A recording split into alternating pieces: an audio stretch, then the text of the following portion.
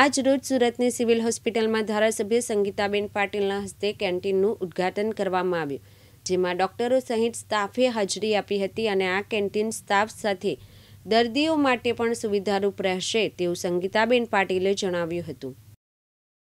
નમસ્કાર હું ધારાસભ્ય સંગીતાબેન પાટીલ.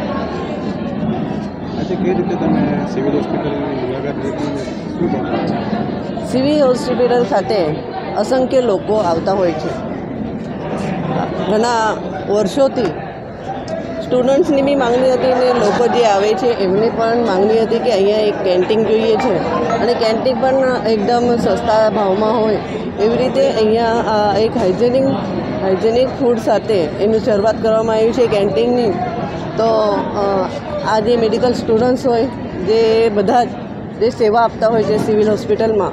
અને જ્યારે એમને કંઈ ભૂખ લાગે, ત્યારે એ આમ તેમ ખાવાનું ટાઈમ પર મળતું નહીં હોય. તો અહીંયા કેન્ટીનમાં શરૂઆત કરવાથી કેન્ટીનમાં એ પોતાના હિસાબથી કંઈ પણ ખાઈ શકે છે. એવી રીતે આજે આ કેન્ટીનનું શુભારંભ કરવામાં આવ્યું છે. બધા સ્ટુડન્ટ્સને હું ખૂબ ખૂબ શુભેચ્છા આપું છું.